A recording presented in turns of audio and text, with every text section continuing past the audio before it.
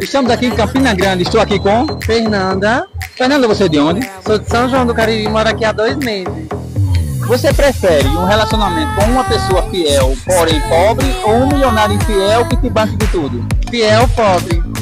No primeiro encontro, se ele pedir para dividir a conta, haverá um próximo encontro? Sim, com certeza, devemos dividir a conta juntos. Você prefere um feio rico ou um pobre lindo?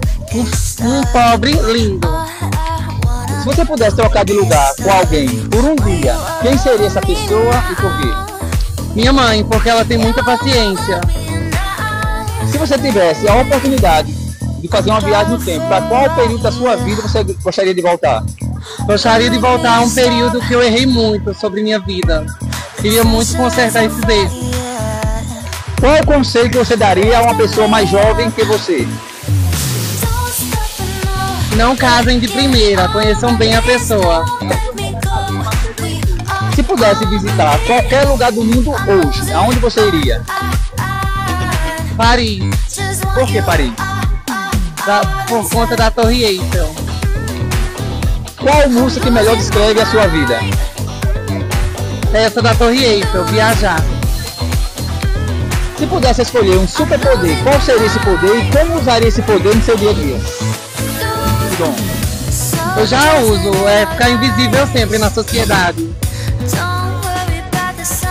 pudesse ter um jantar de uma hora com qualquer pessoa, viva ou quem você escolheria para esse jantar e o que conversaria com a pessoa?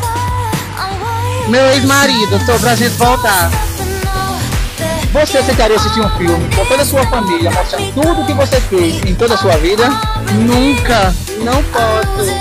E por um milhão de reais? Piorou, não vale. Deus me livre que eles assistam. Ao turista que está chegando hoje a Campina Grande, o que você falaria para ele? Venham sempre, viu? A, a cidade precisa de mais turistas. Você que não é inscrito no canal, se inscreve. Jailson Zui. Vem comigo. Vem.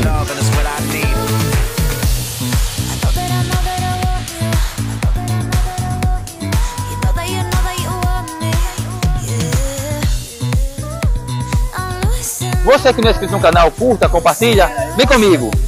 Vem.